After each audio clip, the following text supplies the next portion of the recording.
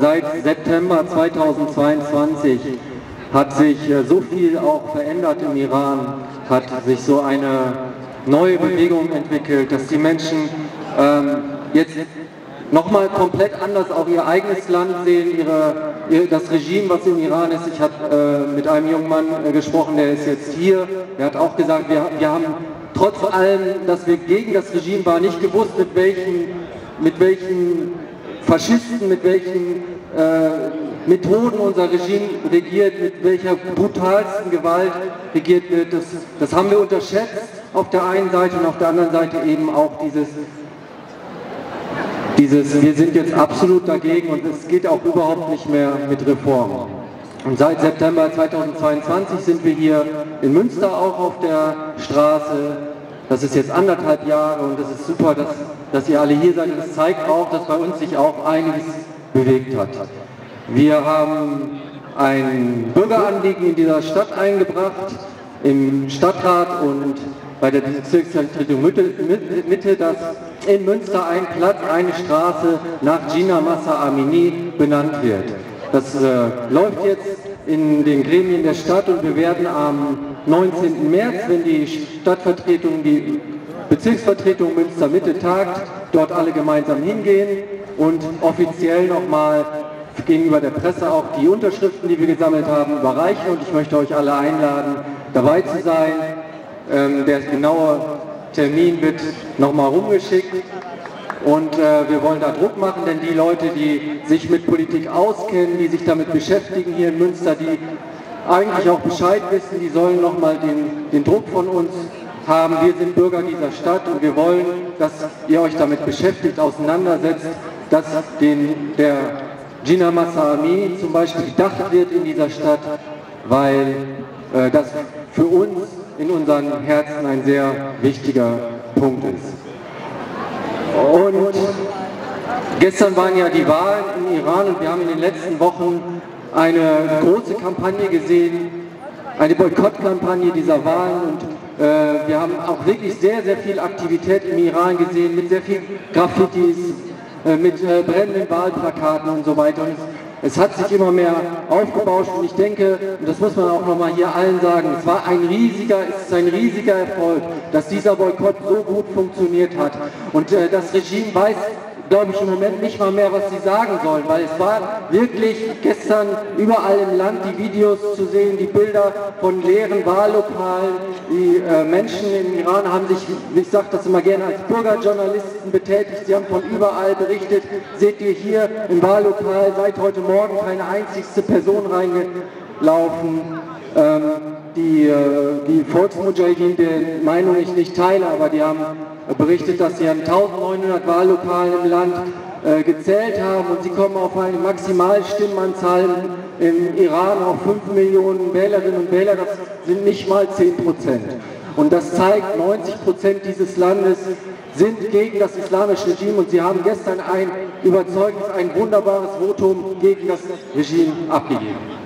Das können wir auch mal selbstbewusst sagen, selbstbewusst nach vorne tragen oder die Iranerinnen und Iraner dass sie da einen, einen großartigen Erfolg erzielt haben und selbst wenn das Regime jetzt weiter Propaganda fährt und äh, ich muss da nochmal wieder Kritik an den deutschen Medien, an den deutschen Zeitungen äh, niederlassen. Die haben schon wieder die Zahl von 40% Wahlbeteiligung, die noch nicht mal offiziell ist, einfach verbreitet. Das ist unglaublich. Die Zeit zum Beispiel ist eigentlich ein, ein liberales Blatt. Warum, warum schreiben Sie sowas? Warum berichten Sie das, wenn die ähm, DPA oder so diese noch nicht mal offizielle Wahlbeteiligung von 40 Prozent vermeldet. Das ist einfach Unsinn und es ist unsäglich, dass die Medien sich nicht damit auseinandersetzen in Deutschland. Wir haben auch wieder sehr, sehr viele Streiks im Land gesehen. Im Moment äh, streiken äh, die Arbeiterinnen und Arbeiter zum Beispiel oder haben äh, in diesem Monat wieder gestreikt in, in den Stahlwerken in Ahos oder auch die Gas, äh, Arbeiterinnen in Gasfeldern in Assaluye und äh, die Mitarbeiterinnen und Mitarbeiter von Krankenhäusern, die Lehrerinnen und Lehrer und bei all diesen Protesten ist immer das Problem, dass, dass viele festgenommen werden, dass viele im Gefängnis landen. Und wir haben so, so viele Menschen, die wir unterstützen müssen, die in den Gefängnissen sitzen, die zum Teil auch von Todesurteilen bedroht sind. Und wir hoffen auch auf Ihre Unterstützung, die Sie hier vorbeigehen, die Sie das hören. Wir müssen uns für diese Menschen einsetzen. Wir haben das gerade schon gehört. Shervin Hajipur, der Mann, der den Grammy Award für sein Lied gewonnen hat, den Publikums Award mit seinem Song Baroye, der jetzt zu dreieinhalb Jahren Haft verurteilt worden ist, weil er ein Lied gesungen hat, einen wunderbaren Song, der der Hymne äh, dieser Revolution, Iran-Revolution geworden ist, der alle Probleme des Iran aufgeworfen hat, der jetzt dafür verfolgt werden soll. Und so viele Menschen, die auch in den Gefängnissen ganz aktuell dort leiden und für die wir uns einsetzen, aber die schiere Zahl an Menschen, die dort in den Gefängnissen sitzen, ist so groß, dass es manchmal schwerfällt, das alles kurz zusammenzufassen.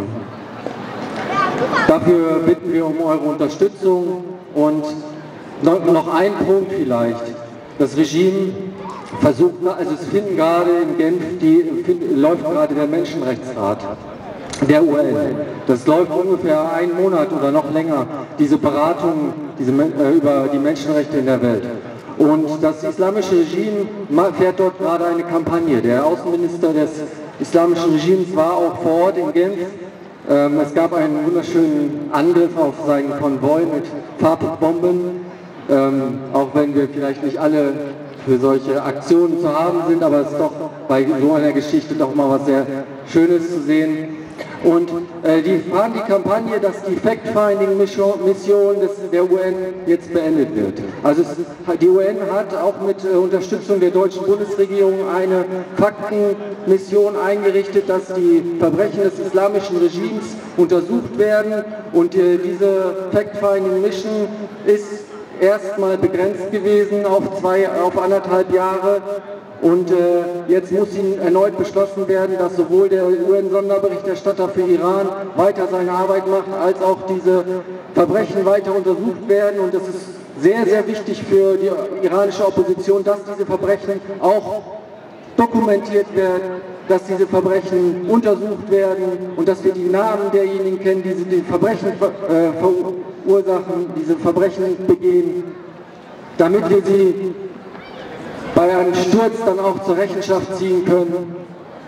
Und die Bundesregierung hat sich äh, mit Annalena Baerbock dort vor Ort ganz klar geäußert und setzt sich dafür ein, dass diese Mission der UN weitergeführt wird. Aber wir müssen auch befürchten, dass das nicht funktioniert und ich bitte euch alle dafür einzusetzen bei der UN, bei den Regierungen, die dort teilnehmen, dass eben die Verbrechen des islamischen Regimes im Iran weiter untersucht werden und weiter dokumentiert werden.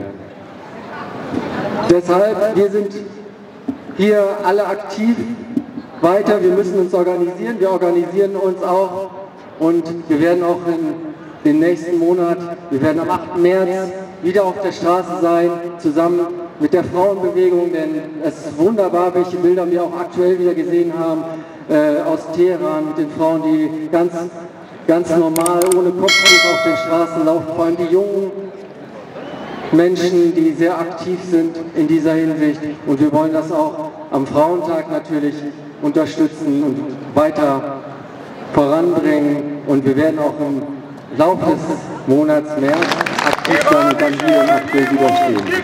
Vielen Dank.